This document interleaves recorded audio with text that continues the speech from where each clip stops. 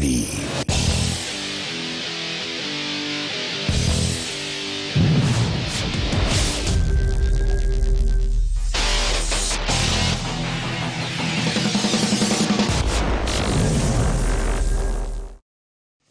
Buongiorno, buon mercoledì a tutti, eccoci in diretta con Sempre Derby. Caro Mauro, ben trovato.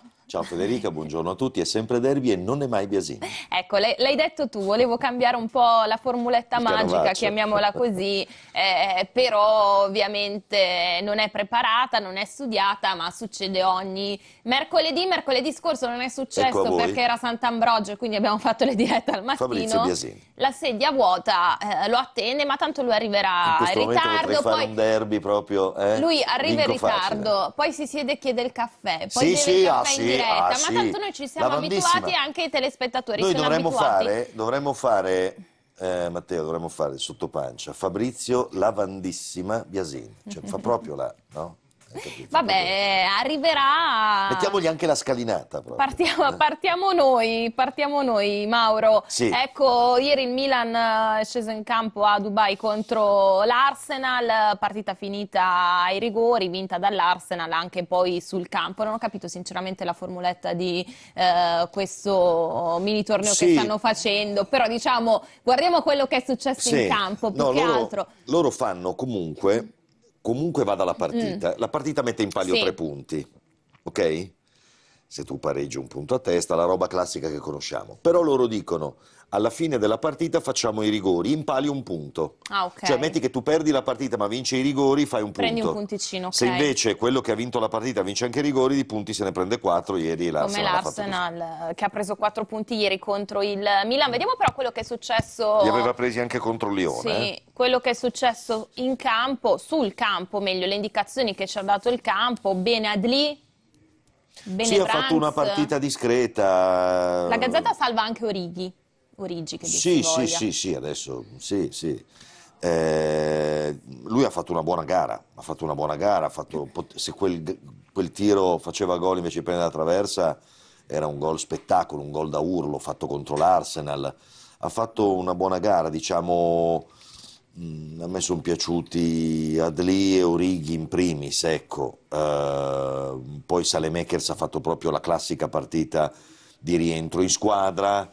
Eh, il resto ho visto, ecco, io, a me interessa molto vedere, eh, udite udite, crescita e progressi Mm. in Tomori, cioè io rivoglio il Tomori della scorsa stagione, per carità, Tomori è sempre serio, sempre affidabile, eh, però ecco, io voglio rivederlo, voglio rivedere il Tomori della scorsa stagione e ieri, e ieri l'ho visto.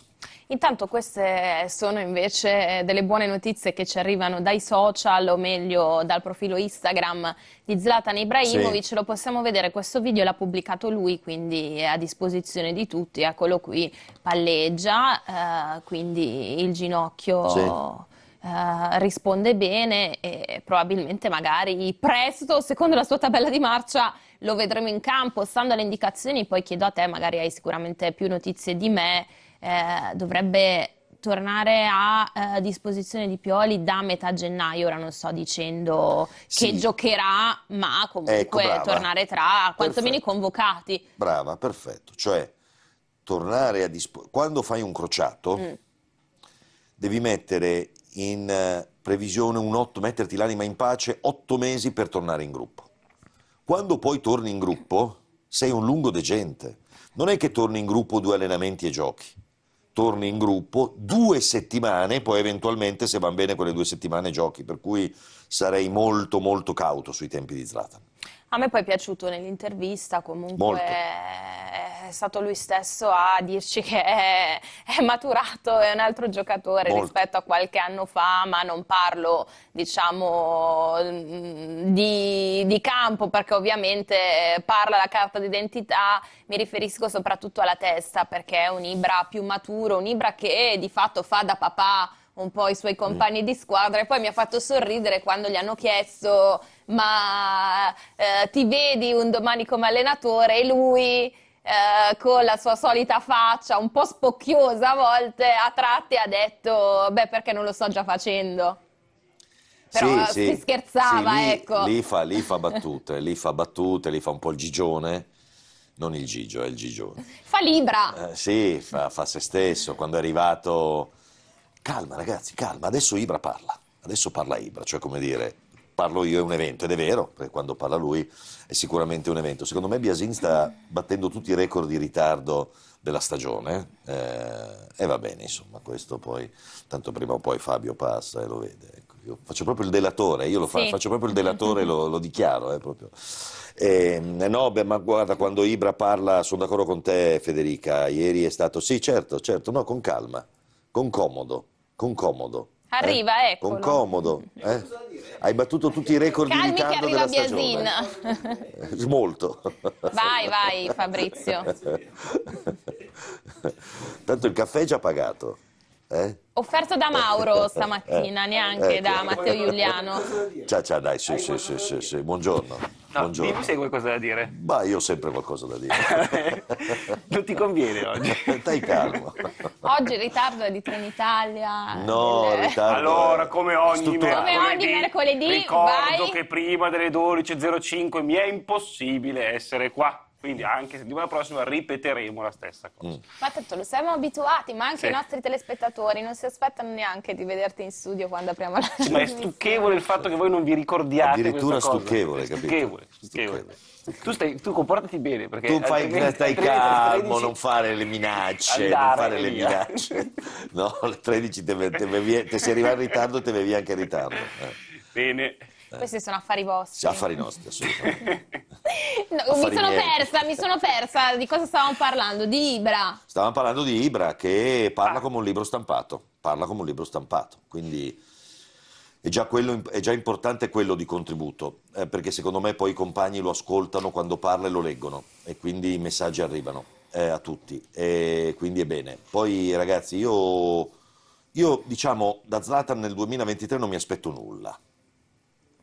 Se, se si inventerà qualcosa e se riuscirà a darci una mano sarà un di più, ma intanto il resto della squadra c'è, è strutturato, ormai è nel suo percorso. Poi se ci sarà anche Ibra, ben venga, tanto meglio, però io non ripongo, non è che metto la fiche pesante su Ibra, Mm.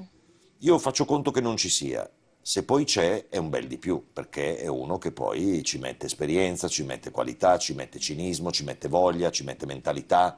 Quindi se ci sarà, tanto bene, tanto meglio. Ma io faccio conto che non ci sia. Se poi ci sarà, sarà un di più. Fabrizio, è un Milan che con Ibra ti fa più paura o ormai pensi che comunque il Milan abbia eh, tagliato, staccato il suo cordone ombelicale da Zlatan Ibrahimovic? Allora, è esattamente quello che si diceva l'anno scorso quando si parlava di rinnovo di Ibrahimovic. Il Milan non faceva riferimento a Ibrahimovic come la sua stella polare, se non c'è Ibra, se non, non c'è nessuno. Ibra è il giocatore in più che se eh, può dà una mano deve essere ovviamente lui a, a capire quello che può dare, quello che non può dare. Mi sembra che l'ultima intervista sia abbastanza eh, esplicativa da questo punto di vista, cioè lui dice io so perfettamente adesso quello che posso e non posso dare, quindi se posso dare una mano lo faccio, altrimenti no. Sono gli altri che, sono- che devono essere delle certezze, cioè eh, in, in questo momento cioè, è Orighi che deve dare di più. Ibrahimovic è il campione che in questo momento, se c'è bisogno, magari ti fa 10 minuti, un quarto d'ora, 20 minuti se, se va bene, oppure magari anche addirittura un tempo se starà benissimo, non lo so. Però eh, la, la- la verità è che non essendoci un problema di rapporti tra lui e Pioli, anzi, Mm. Sono diciamo eh, i due che hanno portato il Milan a un certo, a un certo livello. Questa cosa è, cioè, qualunque cosa che potrà dare Ibra è, è veramente un vantaggio, quindi eh, sicuramente il Milan trarrà giovamento dal, dal ritorno di Ibrahimovic, che possa, che, che possa essere 5 minuti o un tempo.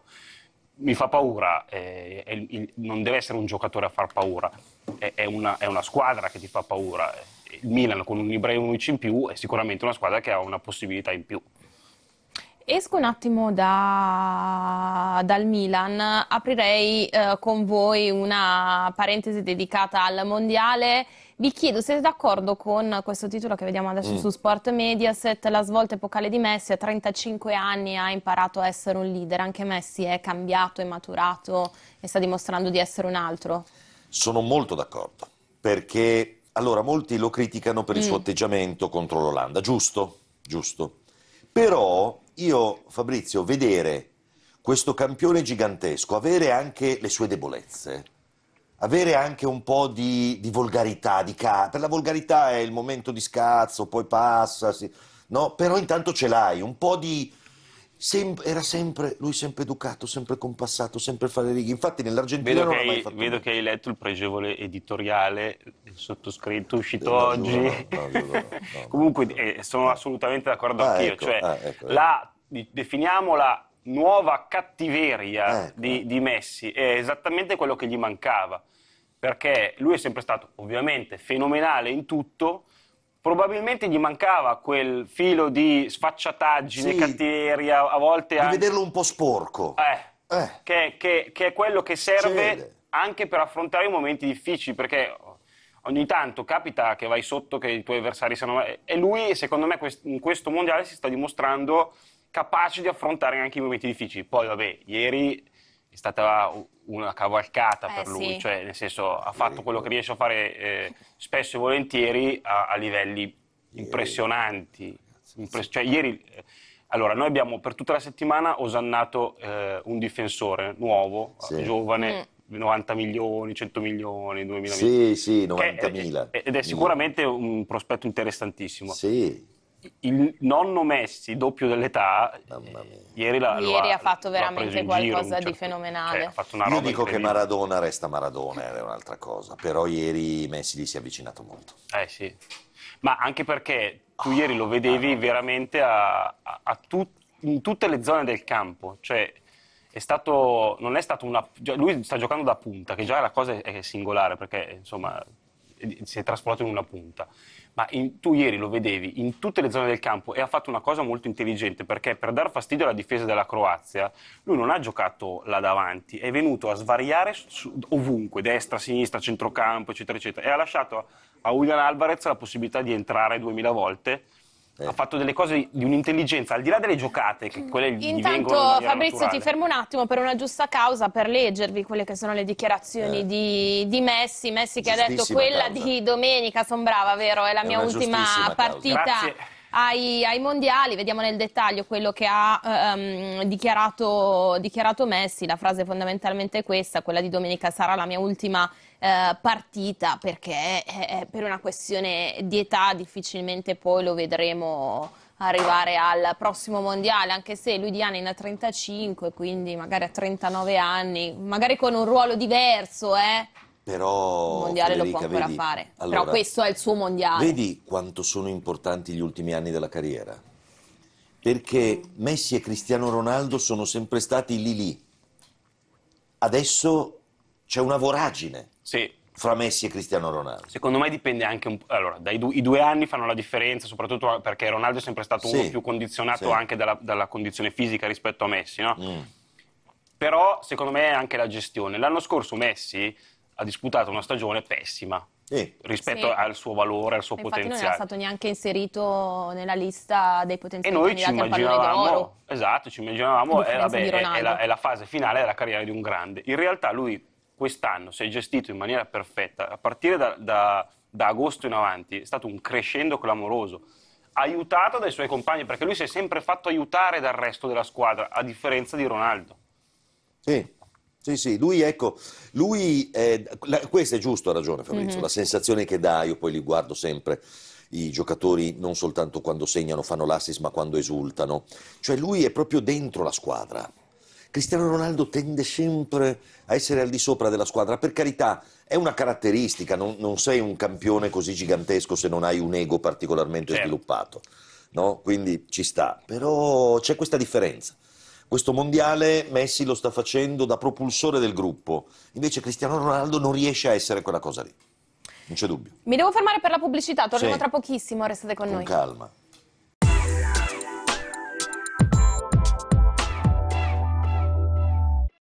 Rieccoci, rieccoci in diretta. Prima di parlare di Inter, Fabrizio, facciamo anche un piccolo aggiornamento sulla Juventus. Noi ne parlavamo già ieri sera durante la eh, prima serata, però diciamo che oggi arrivano anche delle maggiori conferme, sembrerebbe che eh, il rientro di Pogba si, si, si sia allontanato ulteriormente, adesso si parla di un rientro a partire da fine gennaio, lui puntava alla Cremonese, cioè la prima partita dopo la sosta, ma non sarà possibile riaverlo, l'abbiamo visto anche ieri attraverso i social della Juventus, lui si sta allenando sempre a parte, solo lavoro in palestra, solo lavoro in, in piscina, non vede non ha, ancora il campo e soprattutto almeno in questa eh, durante questa nuova preparazione in vista della seconda parte di campionato non credo neanche possa riprendere, riprendere ad allenarsi col gruppo e si parla di rientro a fine gennaio. Quindi la Juve, ricapitolando, ha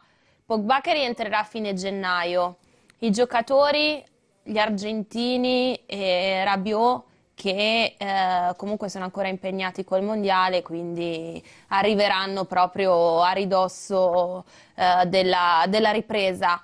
Vlaovic con la pubalgia, Chiesa con un problemino muscolare e Quadrado con problemi al ginocchio, quindi diciamo che la storia si ripete, nel senso eh, la prima parte di stagione è iniziata così e mi sa che anche la seconda Federica. inizia piena di infortuni. Adesso non, le due cose non c'entrano, sono completamente staccate e scollegate. Ma quando un grande club entra in un circolo vizioso, eh, il circolo vizioso eh, ti, ti, ti contagia dappertutto, ti va a prendere dappertutto. Cioè non c'è correlazione fra...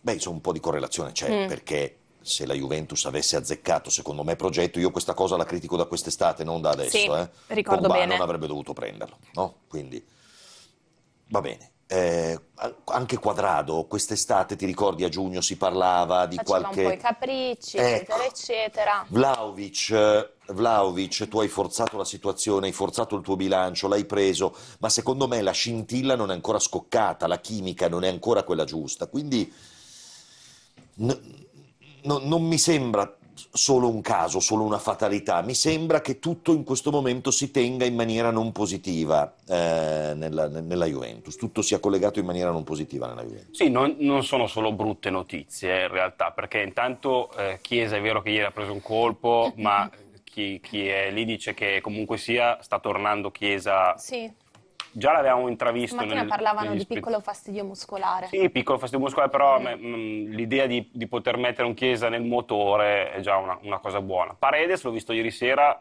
se gioca così è un giocatore più che utile. Sì. Cioè, Paredes deve giocare come ha giocato ieri sera, quella, quella è la versione bella del, del, del, calciatore che la Juve fino adesso non abbiamo visto. Di Maria mi sembra che abbia ancora tanti problemi fisici, Pogba è un mistero. Era in panchina ieri Di Maria. Sì, sì nel senso che non, evidentemente eh, in questo momento non è ancora a posto, e invece Pogba è, è una cosa seria, nel senso che eh, un menisco, per quanto possa essere un problema, in teoria lo risolvi. Eh, se, cioè, sei mesi, sei mesi stai esagerando sul menisco. Qui stiamo andando un po' oltre. La mia sensazione è che ci sia qualcosa di diverso, però io, ovviamente non sono mica un medico, per, però è una questione di tempi. Cioè, sì, i tempi sono veramente lunghi per un menisco, non parliamo di un crociato, parliamo di un menisco e quindi eh, esagerando in tre mesi torni a giocare, esagerando. Anche, non, cioè, nonostante l'errore che ha commesso all'inizio sì. della terapia conservativa, questo e quell'altro. Io non so cosa sia. Non so se è il menisco o non è il menisco, non lo so, eh, sicuramente sarà il menisco, però il fatto è che lui già al Manchester United la spina si attaccava e si staccava. Mm. Cioè lui non è arrivato alla Juventus da un periodo di grande continuità agonistica e di grande fulgore fisico. L'anno è, scorso 18 partite saltate per infortunio. È arrivato alla Juventus già mezzo e mezzo. E quindi tu lo devi mettere in preventivo questo. Cioè, se tu prendi Pogba perché Pogba sia un po' un di più rispetto a un progetto stabile, solido, già avviato, va bene. Ma se tu prendi questo Pogba per farne il fondamento della tua stagione non va bene, secondo me. E anche perché adesso devi sperare, una speranza non vana, secondo me, però devi eh, sperare che i tuoi giovani eh, riescano a stare al livello, no? Sai, mm. hai eh, Miretti e Fagioli che nell'ultima fase della mm. prima parte ti hanno fatto vedere di avere un certo eh. tipo di valore. Eh. Quindi questa è sicuramente una bella notizia, però effettivamente la Juventus era partita dicendo benissimo, Pogba e altri 10. Eh, in realtà eh, non, non, c'è mai stato, quindi eh. insomma eh, capisco anche Allegri che a un certo punto dice voi volete un certo tipo di cose, però se noi abbiamo basato la, la, la stagione su un giocatore che poi non c'è, devo dire che ti sei assunto un rischio perché effettivamente cioè, la situazione su Pogba più o meno l'avevi capita, intravista no? rispetto alle ultime stagioni c'è anche una componente di sfortuna clamorosa perché arriva, si rompe.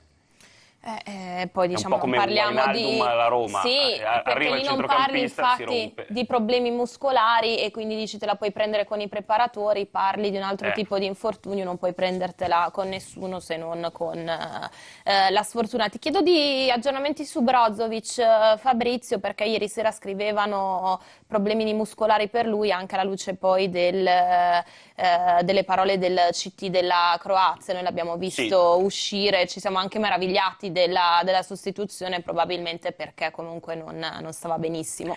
Eh sì, lui l'unica cosa che sappiamo è quella che ci ha detto il, il CT nel post partita, dice che l'ha tolto perché senti, ha sentito un, un problema e la, la, ecco la frase che a me ha lasciato un po' strana è abbiamo, prefer- abbiamo preferito preservarlo per la finalina.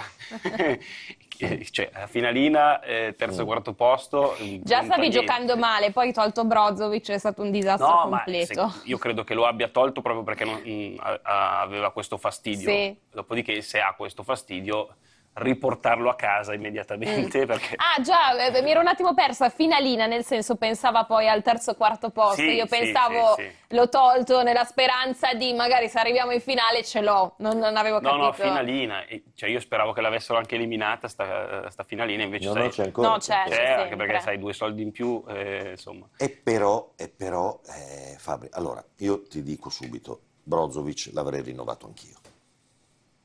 Su questo non ci piove. Però... Ha fatto un mondialone, eh, Brozovic. Sì. Mondialone, non un mondialino, eh. Giocatore che ha corso nettamente Vabbè, però io domani, io domani, va bene che la nazionale è una cosa seria, domani eh, la finale del secondo posto sabato è una cosa seria. Rispetto... Torna a casa. Eh. Cioè, voglio dire, l'Inter ha investito su di te, è un'infinità di soldi. Sì, cioè... non dipende da lui perché eh, non è che può essere lui a dire ok, me ne vado. Cioè, di, mh, mm, che stia attento, perché siccome è un giocatore che corre eh, 15 km a partita, eh, se hai già un problema adesso devi ragionare sul 4 gennaio, cioè adesso la finalina, eh, fino a ieri io capisco, eh. finalina, adesso ragioni su, devi ragionare sul 4 gennaio. Perché poi, poi Brozovic sarà il dominatore del girone di ritorno mm. e l'Inter avrà fatto l'operazione migliore della sua carriera, però il Brozovic post rinnovo Così non ha, no, no, no, su questo io non ti Non ha preso l'occhio. Non ma, non, vo- ma non, parlo di Brozovic, dico in generale. I rinnovi, non sto parlando dei giocatori giovani, sto parlando in generale. I rinnovi non sono la panacea, non sono la ricetta miricolo- miracolosa. Possono andare bene e possono non andare bene. Ma questo è sicuro. Brozovic ti assicuro che ha fatto un, un bel mondiale. Cioè, è il giocatore che ha corso di più, non nella Croazia, nel mondo, mm. al mondiale, e ha, ha, giocato al suo livello, cioè toccando un miliardo di palloni. Quindi secondo me, se, se, se, torna questo Brozovic, è una manna dal cielo. Sì, però a mio avviso, comunque ha ragione Mauro, quello della prima parte di stagione non è stato, diciamo, il miglior Brozovic eh, dell'Inter. È, è, fermo da due mesi, eh. cioè non ha giocato. Nel, è vero, Fabio. Sì, però a inizio stagione a inizio si diceva stagione... Brozovic e Barella non benissimo. Poi comunque comunque resta un giocatore forte, però stagione, meno brillante degli altri anni. Inizio stagione l'Inter non benissimo, cioè, era tutta l'Inter che non funzionava per mille motivi, ma eh, questo ovviamente siamo nel campo delle opinioni. Secondo me mettersi a giudicare, guarda, l'ha detto Barella l'altro giorno, nel suo ruolo, secondo Barella, secondo Barella, forse esagerando, secondo lui è il migliore al mondo. Secondo me lì in mezzo giocatori che fanno quel tipo di lavoro sono è un giocatore fortissimo, pochi. un giocatore fortissimo mm. quando sta bene, migliore al mondo non lo so, però vabbè, ognuno mancherebbe altro alle sue opinioni e Barella lo conosce molto bene. Però il segnale secondo me, poi tu le cose dell'Inter le conosci meglio tu, ma il segnale secondo me te lo dà anche Inzaghi, perché quando Brozovic torna pronto, il Brozovic dell'anno scorso, un minuto prima l'avresti già Eh, messo ma, in eh, campo. ma c'è un, c'è un motivo, c'è un motivo, perché Eh, Brozovic torna ed è, no. ed è al 30% e tu l'anno scorso l'avresti messo al 30%. Quest'anno Eh, c'hai Cialanoglu che sta, È facendo- vero, che sta giocando è- è- benissimo. È, vero, però... eh, boh, Per fortuna avevi un'alternativa, hai un'alternativa, in, cioè in questo momento Cialanoglu sta giocando veramente bene, quindi per fortuna poi potevi aspettarlo, ma adesso mi sbaglierò. Secondo me li vediamo in campo assieme, uno e l'altro. Vediamo. Intanto eh, stavo vedendo, parlando sempre di, faccetta, di Inter, sì, Io ho la questa- sensazione che si stia ragionando su, eh, su, su- su entrambi in campo assieme Mm. e ti dico che secondo me possiamo vedere anche delle novità. Vediamo. Tipo, tipo, sono Eh, non lo so, vediamo, vediamo, vediamo. C'è questa suggestione di mercato che parte da tutto sport, tutto ovviamente è partito da quelle indiscrezioni di qualche giorno fa su 4-2-3-1. Hakimi. 4-2-3-1. No, no, no, no, difesa 4 mai con Mai. Inzaghi, ma figurati. No, no, no, no, 3-5-2 resta il 3-5-2, ci mancherebbe. Sfruttare più Mkhitaryan, No, no, no. come abbiamo visto nell'amichevole Mkhitaryan con gioca- ha Salisburgo. giocato tantissimo. eh. Sì, però ha messo diciamo dietro alla punta un po' come giocava la Lazio Inzaghi. No, no, no, figurati, Mm. fai le due, adesso c'è- si si spera che rientri anche Lukaku, cosa gli fai? Togli un posto in attacco? No, no. Allora, eh, Lukaku lasciamo un attimo in stand-by perché comunque sembrerebbe molto carico, almeno queste sono le notizie che arrivano a voglia scalpita, però eh, dicevo Fabrizio, c'è questa suggestione di mercato che arriva da, da tutto sport, Eh, diciamo che la chiamo sempre suggestione più che in- indiscrezione, è già partita da circa una, una settimana perché sembrerebbe che Hakimi non sia particolarmente felice al Paris Saint-Germain, che dopo aver, vi- dopo aver visto la vicenda Lukaku anche lui abbia voglia di fare più o meno la stessa cosa, quindi tornare all'Inter, questo è quello che eh, ci raccontavano settimana scorsa. Oggi tutto sport riprende queste voci e eh, vi faccio vedere il titolo anche ripreso da FC1908.it, Hakimi eh, suggestione se parte Dumfries, c'è anche un'altra pista, quella che porterebbe a, a Lazzari, forse più facile eh, da, da seguire, meno da fantamercato, però chiedo a te Fabrizio, potrebbe essere Hakimi sostituto di Dumfries? No. A me sembra veramente fantamercato. A me sembra che eh, lo stiamo alimentando però questo fantamercato, se lo diciamo, per cui eh, no, non esiste una possibilità Lo del dice genere. Daniele Mari, lo dice. No, ma allora, no, Daniele Mari riprenderà qualche notizia. Ah, sport. Io io credo che in questo momento, nella assenza di notizie di mercato, non per l'Inter in generale, e sarà un gennaio di balle clamorose, perché non ci sono soldi, eh, va- valga un po' tutto, compresa questa che è, è una cosa non credibile. Poi, eh, se vogliamo mm, provare a crederci, perché uno dice, "Vabbè, è successo con Lukaku, può succedere anche con Hakimi, no, sono storie completamente diverse. Hakimi sono convinto che eh, sarebbe rimasto volentieri all'Inter. E a me piace tantissimo, a me, a chiunque piace tantissimo, però in questo momento è in una squadra che gli dà 8 milioni di euro a stagione più bonus, ha un contratto a lunga scadenza e, e gioca nel Paris Saint-Germain. Non, non c'è uno spiraglio per ragionare su una roba del genere, cioè, poi ripeto, possiamo fantasticare finché vogliamo, ma non c'è questo spiraglio. Tra le altre cose, per Cioè lui non è in grado di fare la Mm. stessa, lo stesso eh, tuffo triplo carpiato che ha fatto Lukaku? Ma io non credo neanche che lui abbia tutto que- cioè, mentre Lukaku era, diverse, mentre infatti. Lukaku era in rottura totale, no? con l'ambiente, con l'allenatore, eccetera, eccetera. In questo momento Hakimi dice io stavo benissimo all'Inter, forza Inter, voglio bene all'Inter. E su questo è sincerissimo. Dopodiché non sta dicendo Paris Saint-Germain che schifo, mi fanno tutti schifo, odio tutti. Cioè è in una situazione magari tattica diversa, lui preferiva giocare come giocava a- all'Inter, ma nel frattempo eh, gioca con... Andiamo nell'ordine, eh, Messi, Mbappé, Neymar, cioè nel senso... Gioca sempre, a differenza di Lukaku Ma poi ha un contratto a scorso. lunga scadenza, ma anche- mettiamo anche che si riuscisse a fare qualunque cosa. Stiamo, eh, stiamo parlando di un giocatore che è costato 70 Ma stasera la Francia passa senza problemi, sicuro? Diciamo che eh, senza, Cioè è già pro- tutto scritto? senza problemi, magari no. Faccio fatica a immaginare, a- a- cioè si si tratterebbe veramente di un'impresa in- incredibile, perché insomma il Marocco ne ha già fatte tante in questo mondiale di imprese. eh. perché è stato bravissimo a fare una fase difensiva, eccetera, eccetera. La Francia è una squadra contro l'Inghilterra non mi è piaciuta tantissimo. Mm. Secondo me l'Inghilterra addirittura meritava di più. Esatto, anche secondo me l'Inghilterra meritava di più. Sì. Se, però, sì, sai, sì. perché io quello che, quello che eh, il mio tarlo è che la Francia fa il calcio di chi sta nella sua metà campo e poi scivola in avanti. Ma il Marocco non te lo fa fare questa no, roba qua. Il Marocco no. dice palla a te e gioca e io sto qua. Sì, poi sai, se Mbappé, cioè Mbappé è impressionante. Ma ce li ha gli spazi Mbappé contro Hakimi? Il problema e è che... Il duello è Mbappé, Mbappé Hakimi, eh? Sì, Mbappé può anche dare dall'altra parte del campo. Cioè, è talmente forte secondo me che lo spazio se lo può anche trovare da solo. Cioè, in questo momento Mbappé è... a me ricorda tanto, adesso dico una cosa che magari qualcuno... Sì. Ronaldo, quell'altro.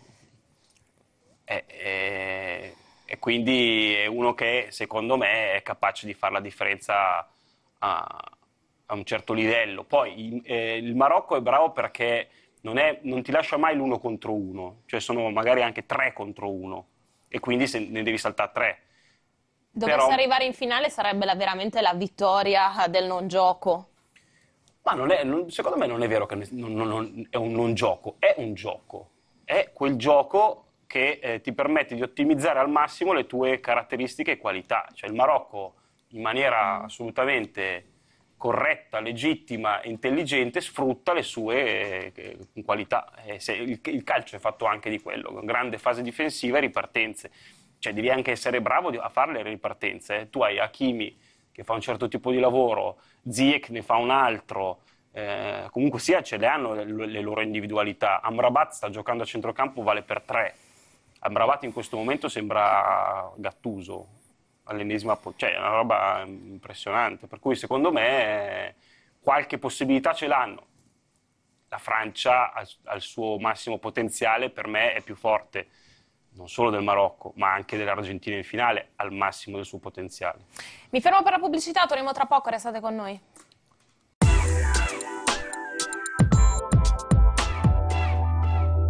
Rieccoci, rieccoci in diretta. Fabrizio, parliamo anche di Lukaku. Mi sembra di capire che il giocatore stia benissimo, che ha voglia, che scalpita, che non vede l'ora di non solo tornare a giocare, ma soprattutto di riprendersi l'Inter.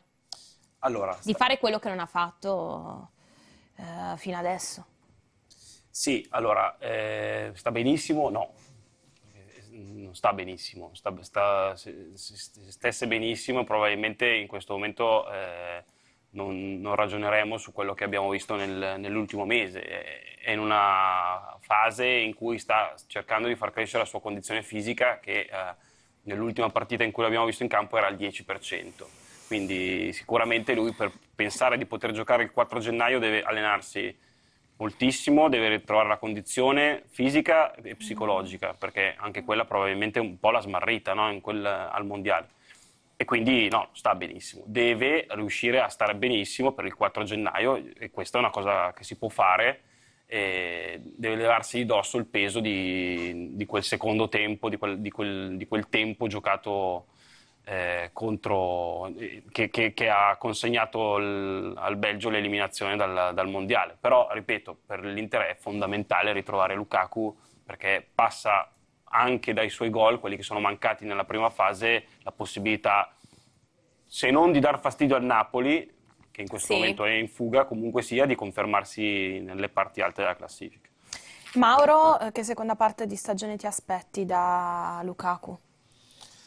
Ma insomma, io eh, non so se nella seconda parte della stagione Lukaku potrà fare qualcosa. In, immagino un passaggio del testimone. Se Lukaku mm. sta bene, il testimone passa da Geco a Lukaku. E allora dico e chiedo: farà tanto meglio di quello che ha fatto Geco nella prima parte della stagione? Cioè, no, allora, in questo momento, se mi chiedi a me. per me, l'avversario, oserei dire, nulla cambia. Cioè, ha fatto così tanto bene Geco nella prima parte della stagione, potrebbe fare più o meno la stessa cosa Lukaku nella seconda. Cioè. Allora, eh, in questo momento Geco è eh, la certezza dell'Inter. Eh, sì, sì, no, certo. Quindi, certo. quindi, se mi chiedi a me, io il 4 gennaio mi aspetto di vedere uh, Geco e poi certo. uno tra Lukaku e Lautaro in questo momento, perché per quello che ho visto fino adesso Geco è la certezza no? lì davanti. Lautaro arriva a eh, per ultimo, perché deve giocare anche la finale, per cui figurati. E, e quindi eh, la, la, per fortuna l'Inter ha avuto Geco a quel livello. Poi ovviamente Geco ha la sua età e quindi pensare che tu possa giocare il girone di ritorno come ha fatto il girone d'andata è una speranza, ma non è una certezza. Quindi servono tutti, serve Correa. Correa adesso è giunto il momento di dimostrare di avere un certo tipo di continuità. Cioè, L'Inter non deve comprare punte, l'Inter ce le ha le punte, mm. devono, devono, tutte performare come sono riusciti a fare Geco e Lautaro nei, nei primi mesi. Voglio coinvolgere un telespettatore, prendo una telefonata da casa. Pronto? Pronto? Ci sei dall'altra parte? Mi sa che non c'è nessuno, però ovviamente vogliamo coinvolgervi, quindi aspetto le eh, vostre telefonate così parlate anche un po' voi. Torno sul mondiale, sulla partita di ieri. Ecco, vi chiedo un voto a Orsato perché leggevo queste dichiarazioni di Modric. Modric che si è molto arrabbiato per il rigore concesso all'Argentina ha detto è impossibile non parlare di arbitri. Orsato ha diretto diverse mie partite, non ho nessun buon ricordo di lui, è uno dei peggiori che conosco. Un disastro, queste sono le parole di Modric su Orsato. Ma dunque, Orsato è un grande arbitro, però eh, c'è chi lo digerisce e chi no, capisco, perché è un arbitro dalla personalità forte, è un arbitro che, insomma, eh, con lui vale sia il regolamento del gioco del calcio dell'International Board che il regolamento Orsato, e quindi ci sta che possa essere discusso. Secondo me Modric è andato un po' lungo perché Orsato non è un disastro però capisco che sia un direttore di gara che o metabolizzi oppure no, o digerisce oppure no. È, è il destino di Orsato, è un po' divisivo come, come, arbitro, come atteggiamenti, come scelte. Il rigore di ieri sera poteva essere dato, poteva non essere dato. Non è uno scandalo che sia stato dato, non è scandaloso. Lascia qualche dubbio, l'azione fa discutere, mm. ma non è scandaloso che sia stato dato rigore. Allora, io ieri quando l'ho visto in, in diretta mi sono... Uh, uh, non ho avuto le certezze che poi hanno avuto tutti quanti. No? Tanti mm. hanno detto rigore nettissimo e probabilmente il rigore c'è, perché insomma, per la dinamica il portiere allarga un mm. po', eccetera, eccetera. Io sono rimasto un po' così perché comunque sia, mh, l'ho visto comunque fermo, cioè in realtà è più l'attaccante che gli va addosso che, però mh, non credo che quella sia la discriminante tra una direzione buona e, e no, secondo me Orsato ha arbitrato bene. Cioè, secondo me Orsato ha arbitrato molto bene tutto il mondiale. Bravissimo. Sì. E non è che mi stia così simpatico Orsato, però secondo me è stato bravissimo. Cioè, Orsato eh, ha più ammiratori eh, fuori dall'Italia che in Italia, devo dire. Eh, però non sembra. Tra questi non c'è Modric. Non no, vabbè, ma quando... Allora, se tu se, vuoi, se vai a vedere dagli ottavi in avanti tutte le squadre che sono uscite cioè, una, una, puntura all'arbitro l'hanno data, mm-hmm. tutti se la sono presa con l'arbitro per qualsiasi motivo. Poi mm, chi non è interessato alla cosa e riguarda la cosa con distacco, secondo me ieri ha stato arbitrato bene. Poi sul rigore, anche secondo me, eh, boh, possiamo discutere, però per esempio ieri ho fatto il tweet, ma rigore o no? 800 risposte, 700 sono sì, nettissimo. Per me, io... Beh, lì va, c'è un po' di negligenza da parte di Livakovic. C'è un eh po' sì. di che lui, insomma, il portiere, se si fa trovare così, si prende il rischio di che gli fischino rigore. Eh sì. Eh.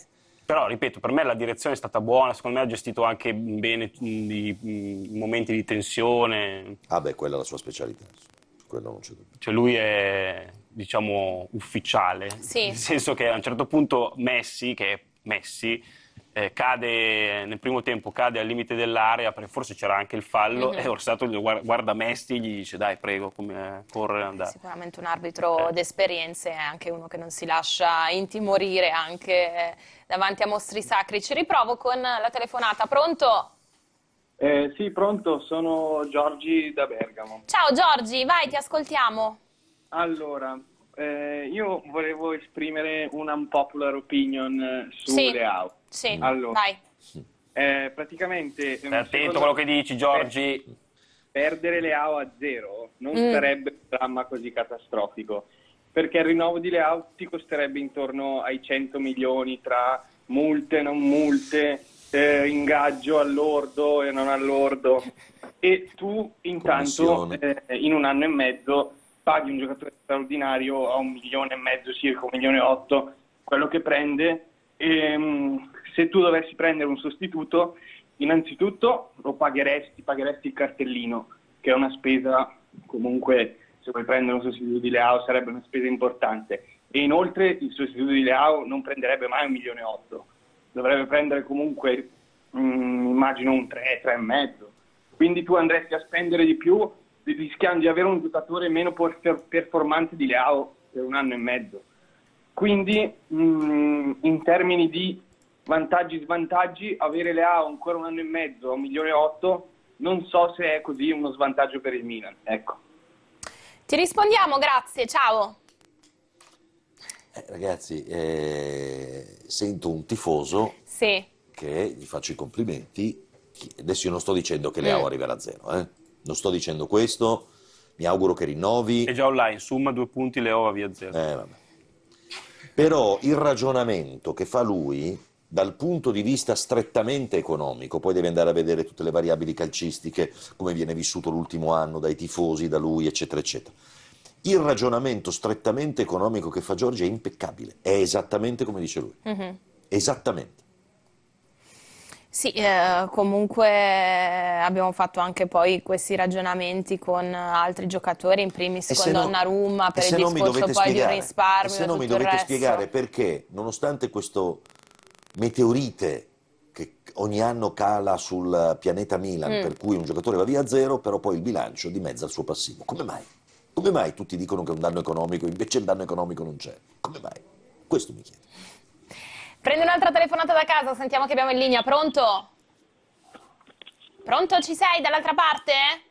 Pronto? Ciao Mauro, ciao aspetta, Federica. Aspetta, aspetta, aspetta. Anche questo è un grande classico del mercoledì, per chi ciao. non lo sapesse. Aspetta, aspetta, aspetta, aspetta, aspetta che ho delle sensazioni. Vai Fabrizio. Secondo me non, non, siamo, in Ligur- non siamo, in Liguria, non siamo in Val d'Aosta. Siamo a Vigevano. Sei a Vigevano? Robby? Vigevano. Sei Robby? Sì, ascolta. Sei Robby? Mago. Eh, no, non vuole parlare con te, neanche ti considera. Tu gli dai tutta Sei questa importanza e lui non ti Robby considera. Eh, vai. Eh, vai. Ascolta, sentiamo il fantamercato di Robby oggi dove ci porta. sì, visto che siamo in tema premercato, eh. sì. volevo sentire un po' su, ma sì. ecco, sul mercato del Milan. Mago, cosa c'è eh. di concreto, di reale dell'interessamento dell'attaccante del Lens Openda? Come scriveva tutto sport. Bene, a settimana prossima. Eh, ciao Roby.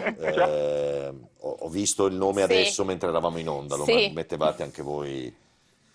Non lo so, non, non, non, non lo so, non lo so, però di solito queste cose.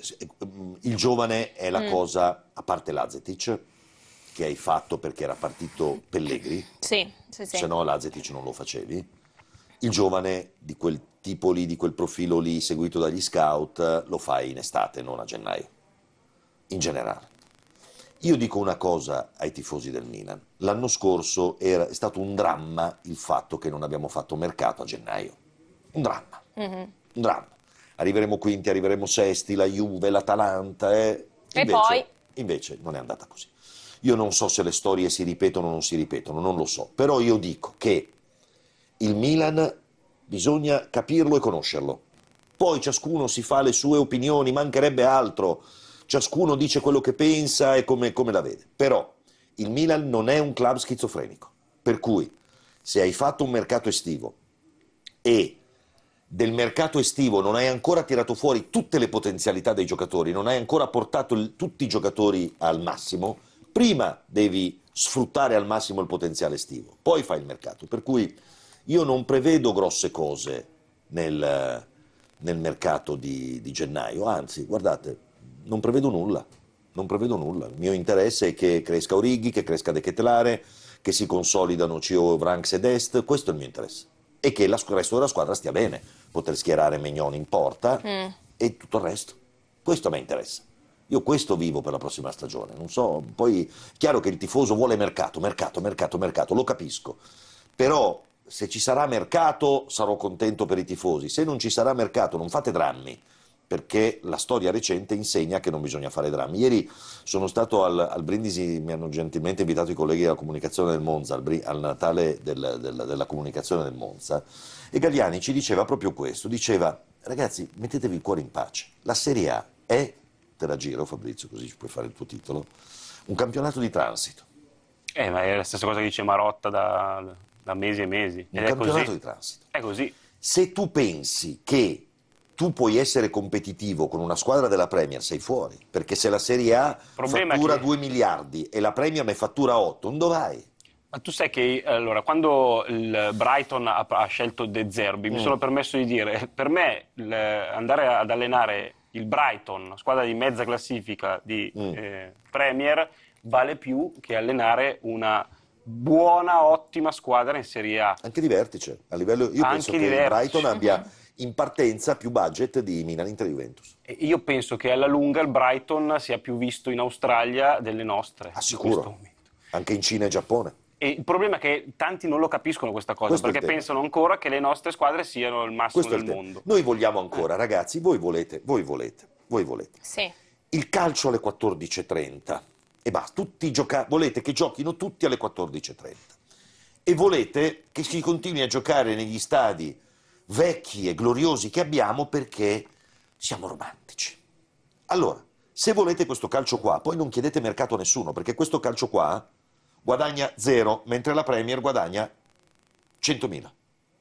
Quindi mm, fate voi, eh, decidete voi. Se volete il calcio, perché le 12.30 ci fanno schifo, perché il campionato spezzatino non ci piace, perché il nuovo stadio non lo vogliamo, i residenti, le abitazioni, l'anidride carbonica, tutte queste robe qua, va benissimo, avete ragione voi. Alla domenica facciamo un'altra cosa, il calcio con i costi, per essere competitivi con i costi degli altri, non si può fare in Italia. Così come lo vuole, come lo vogliono le anime belle, onore alle anime belle, non le, non le canzono, non, non faccio ironia, non le prendo in giro. Onore alle anime belle. Ma il calcio delle anime belle è un calcio da paese del terzo mondo calcistico. Che, non- che va bene, ci si può appassionare e divertire anche, que- eh, anche con quello, eh. però l'importante è che sappiamo bene di che cosa stiamo parlando. Mi devo fermare però per la pubblicità, torniamo tra poco, restate con noi.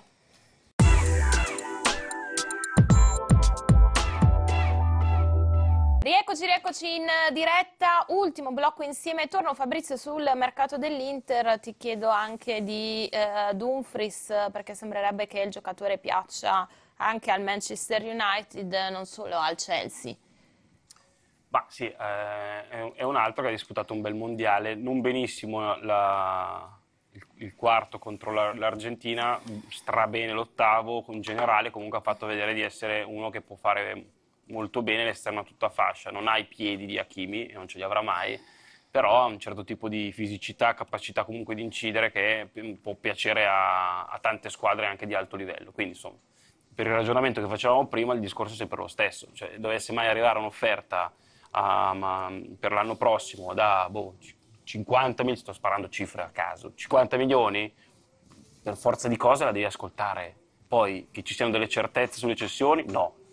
Tutto dipende sempre da che alternativa hai e da che offerta arriva. Se hai un'alternativa e l'offerta è importante, è possibile che, che un giocatore parta. Viceversa, ci sono dei contratti, quindi per fortuna di cose il contratto a lunga scadenza, quindi te- puoi andare avanti con i giocatori. Però è Ma chiaro ti che... chiedo, a fine stagione deve esserci comunque una cessione importante? Beh, lo dicevamo, eh, Mm. guarda, l'anno scorso abbiamo detto ah, ci deve essere una cessione importante, ci deve essere una cessione importante, ci deve essere una... non è andato via nessuno. È stata rimandata? E no, tutte le volte diciamo così, poi vediamo. Poi dipende sempre dalla- dalle offerte. L'Inter ha detto no a 60 milioni, eh, perché per Skriniar l'offerta era arrivata. Ha detto no l'Inter. Poi 60. 60. 60 e all'ultimo giorno di mercato. Quindi il rischio addirittura adesso lo perdi a zero. Eh, hai perso un giocatore a zero per preservare la, la- la squadra. Quindi le cose sono due. O diciamo che la proprietà è una proprietà eh, di ca- persone cattive, maledette, che vendono tutto e tutti, oppure eh, dall'altra parte c'è chi ti dice non sono capaci di vendere i giocatori questo e quell'altro. Eh, nel senso, va bene eh, criticare, ci sta per amore del cielo, però non è che deve essere per forza tutto sbagliato. Eh, in questo momento l'Inter, cioè, l'Inter ha venduto Hakimi e Lukaku, ok? Due anni fa. Perisic è andato via a zero, e vabbè. Ma ha venduto Hakimi e Lukaku e uno se l'è pure ripreso. Cioè, non è che sta svendendo tutti. Chi è che ha svenduto? Ha venduto Hakimi. No. Quindi, insomma, prima di dire sicuramente l'anno prossimo ne partono altri 5, aspetterei. Ti chiedo, questa è un'indiscrezione che arriva da Udine, sembrerebbe che l'Inter abbia chiesto informazioni su, su Beto. Non ne ho la minima idea, se lo chiedi a me, a me Beto piace tanto. Non ne ho la minima idea, me la stai dicendo tu adesso, è la prima volta che la sento questa cosa. Sì, a me Beto è sempre piaciuto tantissimo, secondo me è un, un bel... Uh, bomberone, mm. magari un po' da svezzare, magari ancora sulla continuità bisogna vedere qualcosa, però è... Preferisci Turam? L'attaccante di... Eh, ma sono giocatori molto diversi, nel senso, intanto, eh, vabbè, Turam se riesci lo prendi a zero, qualcosa eh, interessante anche da un punto di vista economico. E poi, eh, insomma, l'età è un ragazzo ancora giovane, insomma, mm, ci sono tanti punti di, di vantaggio. Diciamo che sono giocatori con caratteristiche di, di un certo tipo a me anche Beto piace tanto, secondo me è un, un attaccante che può fare una bella carriera, poi una carriera super, boh, lo so, però a me non dispiace per niente.